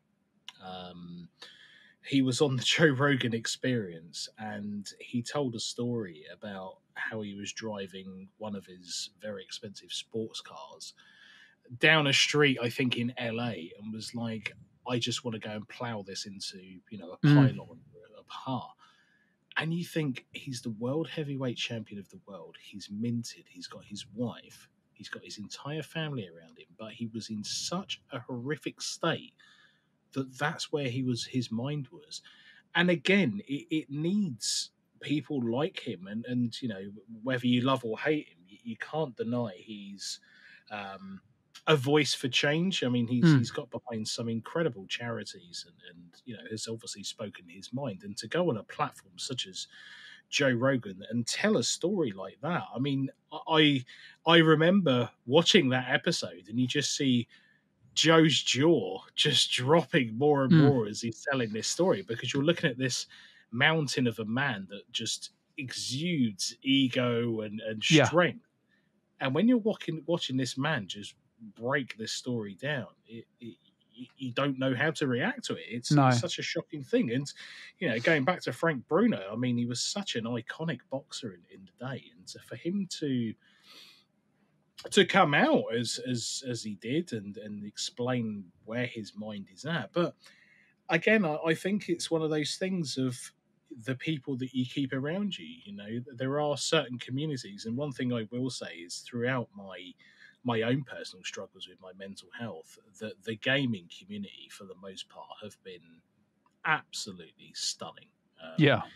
people I don't even know who listen to this podcast or follow me on Twitch and stuff like that have reached out and you know it was it was quite the shock because I think the one thing with mental health is you do feel a little bit like you're the only one um, and you put yourself in this completely siloed hole that you don't think you can get out of. And, and the moment you spark that I need help or I need support the amount that you can potentially get back from completely unknown sources is is staggering. And um I, I I think when we, we look at the Frank Bruno example, I was very shocked that more people in the boxing industry didn't really rally around him. And Yeah.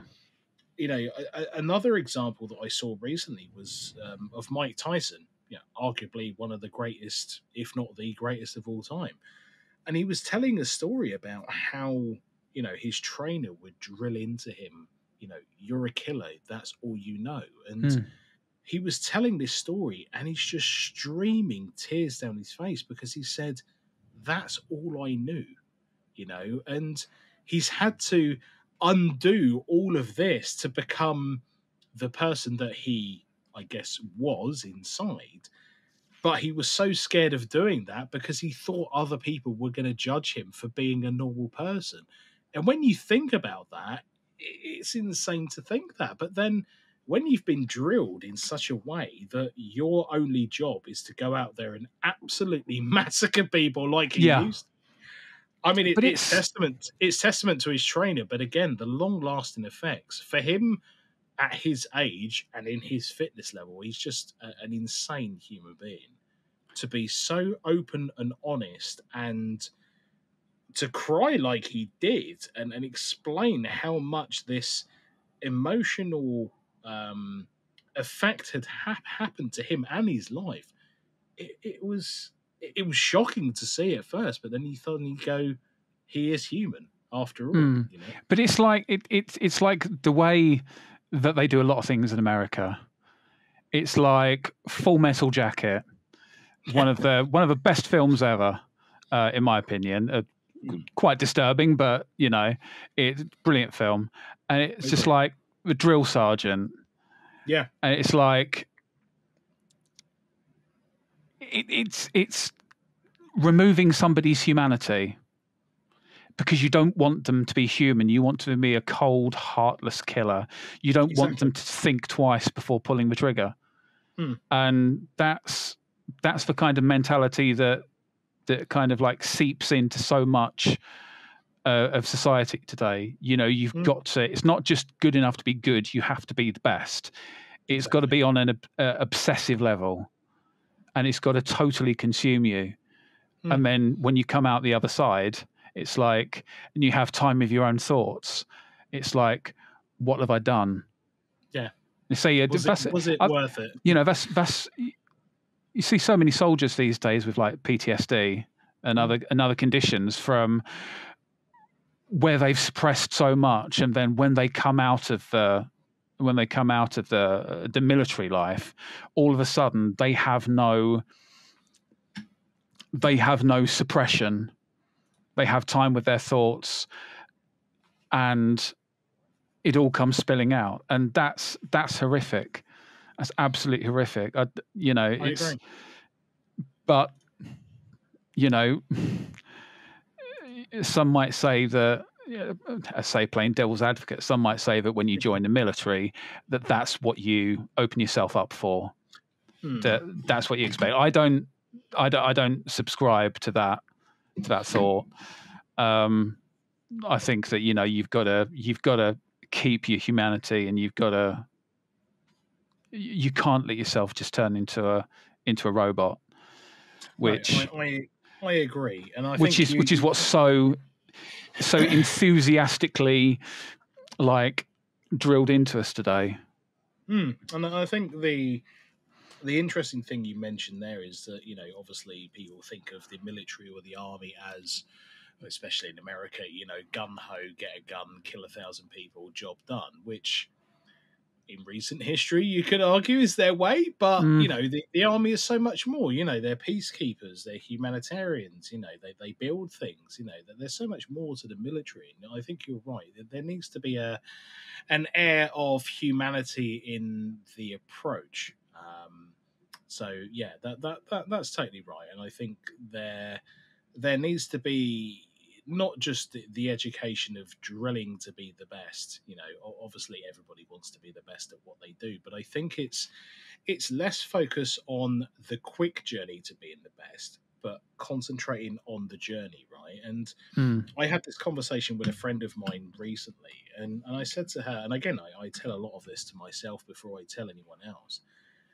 the journey is the most important part because when you reach the goal, most people will forget the journey. They will just get to the goal and write off the journey, right? Yeah.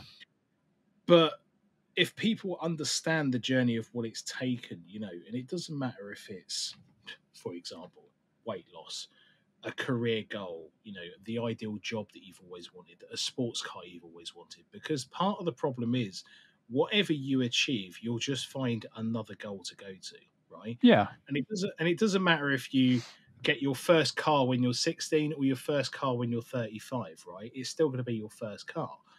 The issue is, is you know, how long did it take you to get there? Did you have to save every penny? And it's a bit like when you used to buy games. You know, if you saved up your money to go to the shop to go and buy a game, you you you cherish that game, you held on to it. But you know, if if it was just a throwaway game and you were like, yeah, whatever, you, you don't really care about it too much. Mm. And I, I, think that's why I've always said that the journey is the most important part. It doesn't matter what you do because I myself, you know, I, I do Twitch streaming. I always thought, oh, you know, I'm going to get into retro. Everybody's going to love it. You know, everybody loves nostalgia and stuff like that. And to be fair, I, I've been very lucky. I have a a select group of people who always turn up to my streams, and I'm incredibly grateful for that. I have a, a wonderful set of mods who, who come to my stream, and I'm incredibly thankful for them. But I got myself into a horrible situation where I was like, I'm not good enough, I'm not growing as quick as I want, blah, blah, blah, blah, blah. And I suddenly took a step back and went, is this actually the career I want? Is this mm. what hmm. I actually want to do?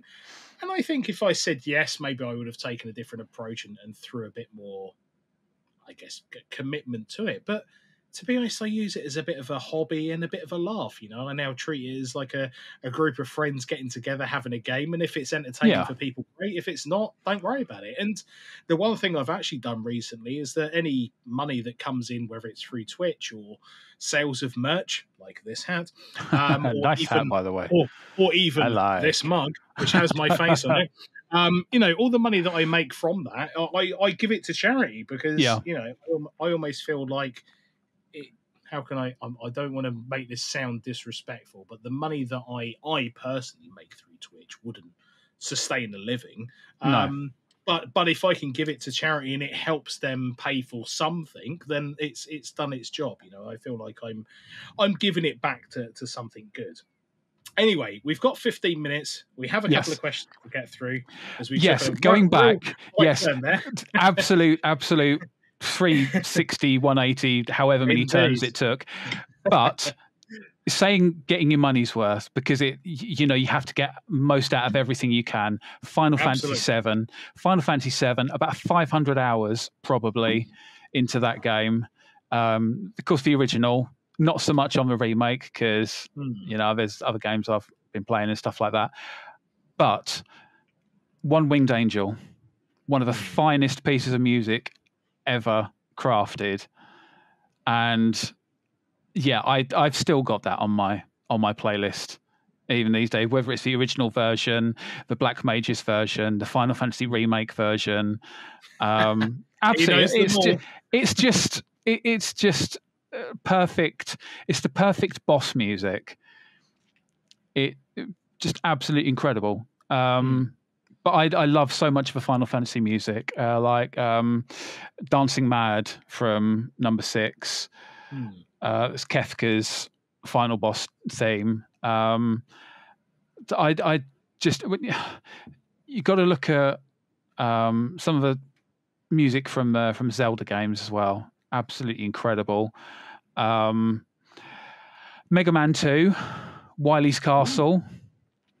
Um, Good choice. It was actually there was a, a vocal version of done uh, done of it by a uh, band called Jam Project, um, and it was it, it's not about Mega Man at all. It's, Right, it's kind of got a story behind it. It's called it's called Okusen Man, Okay. and um, I'll I'll link it to you if I can find it again because it's it takes that brilliant piece of diddly diddly do diddly diddly do diddly diddly do be be be be and they kind of like make it into a kind of like a a rock kind of it's Hmm. absolutely amazing if, you they've given it the one punch man treatment Right. Got it. um so it's it, it's it's fantastic um but yeah i mean just oh, it's so difficult to actually choose all the bits of music that I absolutely love. But I say anything Final Fantasy, uh, your Zelda music, stuff from Fallout, Skyrim. Um, even though I've never played the game, I there's so much amazing music in Halo. Um, and just like all these, because it's becoming so much more cinematic these days. Some of the music in Elden Ring, absolutely incredible. God of War, God of War, Ragnarok. I mean, you've you just like everything. It, it's about the whole package these days, and music is so important because it sets the tone, and it, I- it I gives agree. like this this constant background swell of setting what your emotions should be, how you should react, because it's more about it's more than just what's happening on the screen. It's like the full 360, um, the whole package. Um, but yeah, I mean, say when it comes to music, uh, obviously, I you know most of what I've done in my life has been related to music, and I just Hmm. I just love to absolutely nerd out and spend like half a day just listening to like up to date game music, retro game music, all through the ages, new arrangements and everything, and it yeah, I just absolutely love it. Do you know what? One of my favorite remakes of a game and the music was um, Bio- Bionic Commando Rearmed, and I I love the NES game, but the Rearmed version, the music is just exceptional. And what's really peed me off is the music was on Spotify and then it Yeah. got removed, and I tweeted the guy going, "What the hell happened?" And he was like, "I don't know, Sony." Music just decided to randomly pull the plug, and I'm like, it was an album. It was literally like a daily driver for me at work, Mm. and now I've got to go on YouTube to try and get it, which is incredibly frustrating. But the the composition of how they took the original music and just gave it this electronica kick up the backside. It's just it's just it's it is true art. And i mean the remake is fantastic and, I- and i love it but the music just adds that mwah, it's it's that it's that real piece that cherry on top that's needed. And i think you're totally uh, totally right. When music is applied correctly to the right type of game again going back to another game that i can think of streets of rage 4 i mean you know, Streets of Rage 2 has probably got one of the most iconic intro music that, that most people can can probably hum or, or remember. Streets of Rage 4, just playing that straight off the bat, the music was absolutely exceptional. And again, Yeah. when you get that that tone right and you just nail it, it just again it just sets that entire baseline. You know exactly what you're getting into off the bat. Mm. Which leads me into my final question.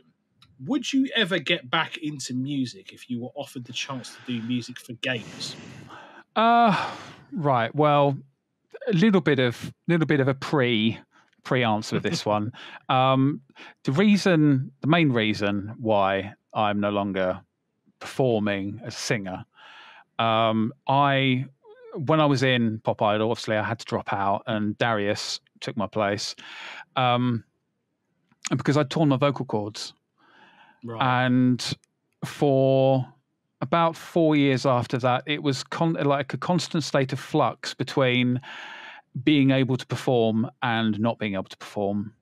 Right. Uh, when I got to about the age of 30, um, I was at the point where the the band I was with wasn't doing great. Um, we were earning money, but uh, people wanted more um, than we were getting, and I was just like, my vocal performances were so wildly inconsistent. It's like one night I'd be all right, the next night I'd be like, my voice would just clip out, and you know it. It would be like it'd be like my voice was breaking. It'd be like I was a teenager again, where all of a sudden it just kind of like like that. he's he's trying to be retro with his voice. Yeah, and I, you know, I the most heartbreaking thing I ever had to do was say to myself, "Do you know what? I'm, I'm not willing to go out and give less than hundred percent to anyone who watches me." Whether they are there to enjoy me or whether they're there to take the mic. if I'm not on that stage giving absolutely hundred percent quality, I don't want to do it Hmm. some people wouldn't even notice the difference, but I would, No. and that's that's why that's why I stopped. Hmm. And you know, it's you know, I'm I'm doing some local theatre. I'm doing some karaoke's and doing bits and pieces here and there, and I I enjoy it. Yeah, I still do. Um, I'm songwriting. Okay. Um, cool. I've been songwriting for about 10 years and nothing ever released, but you know, that's just me being me. Um, everything I do these days is very personal. Um, a lot of the lyrics I write are very deep and, and quite dark. Um, maybe one day I'll I'll feel I'll feel comfortable to release it. Um, but you never know. You never know. Things can things can change. Um, if I could if I could get back into like a group of people, really like accomplished musicians, people who I could feed my ideas to and say, Hmm. right, okay, well, because I, I can't read music, I can't write music, I just know music. Music. Yeah. Sure. And if I could find a way to say, right, okay, this is take that, put that there, this there, kind of like a minority report where he's just pulling stuff out of nowhere and just like uh, twisting and stuff. Yeah. I'd I'd be on that without without a second's thought. There there would be no there would be no thought process. It would just be yes. Hmm. Because I'd I'd say probably about 23 hours and 59 minutes of every day I have music in my head. Even if I'm watching something, I've got this constant kind of like this little brain pod at the back of my mind that's constantly playing another song and I'm kind of like singing along to it in my head whilst I'm watching TV kind of thing. I'm consumed and that's I suppose in a way it's it's a bit of a blessing and a curse Sure. because it's so frustrating to not be in the position where I can where I can go out and and and do it like I used to do it. No, sure. But at the I same can- at the same time, I know if there's something if there's something or someone who can unlock the gap between my brain and the music, then that's that's when I'm in my absolute element. Okay. So on that note, where can we learn more about you then? Um, Wikipedia. Um, although that says I'm born in 1982, and unfortunately I was born in 1981, so I'm going to be 42 this year. So I'm a right Wow. old git. Uh, as, as the beard, as the beard will show, I've kind of like gone for the Jack Black at the moment. So um, it's, uh, it's a tremendous beard you've got going on. Put- I, I said I had the best beard on the internet, but I think you've uh, you've pitched me. uh, my fiance wants me to shave it off, and I keep on telling her no, and until until you know, maybe if I can get Jack Black to to tweet me, I'll shave it off. Um, So, so you're on you're on Twitter, are you? um, not really, no. Okay. Yeah, but the only social media I do is Facebook, and I'm Okay. really not. Uh, that's really kind of like close friends, family, stuff like that. I I I do keep myself to myself quite a bit. Hmm. Um, I obviously I do stuff like this. I, I do like videos with other people and stuff. And Sure. you know, I- I've got my own Twitch channel that I haven't streamed on in about long time. Um, Do it's actually it was my it was my it was my seventh anniversary uh, on the twenty seventh.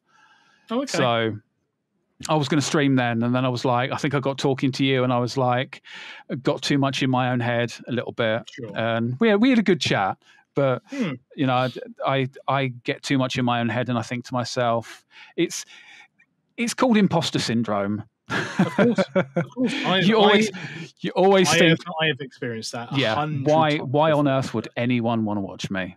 And it, it's Well, it's that it's s- it's that thing. I It's can horrible. segue and say for the same reason that people are watching me is because I have awesome guests like you on it, and that's why they watch. Oh, So, you're good. I, um, I was, certainly, I've been, I've, you know, I've been dropping into your Twitch streams and everything, and you know, it's been really enjoyable. And that's kind of like pulled me back towards. It's like just when I'm thinking that, they pull me back in. you can blame me. You yeah, can blame I me. mean, we're gonna have to, we're gonna have to, we're gonna have to play something some uh, sometime. Just get We on there, and will. you know, no, absolutely. it's one of those things I where it's like, I'll I'll definitely link your uh, your your channel in the show notes. But um, you know, I, I think you should get back on it. I think, um, if anything, I think a lot of people will be very impressed by your knowledge of gaming first and foremost, and um, and obviously your approach to to life now. Uh, I think Hmm. the media have painted you in a very poor light, to say uh, in a polite way. Um, and you know, you, you're completely the polar opposite. And um, I, I really hope that you do find a way back into music. I think if anyone deserves, I, I don't want to say a second chance, but but for the best best chances of using words, I, I will. But I think if anyone deserves a chance to go back into music to to do something that they love and, and hold dear, it is definitely yourself. But um, th- thank you so so much. It's been an absolute pleasure talking to you. I would never have thought all those years ago, watching you on TV, I'd be talking to you ten or fifteen years later. But then be I could- the I way can- things happen. So. I can talk for England. Uh, you you could have easily fitted. You, you could filled like six hours on here.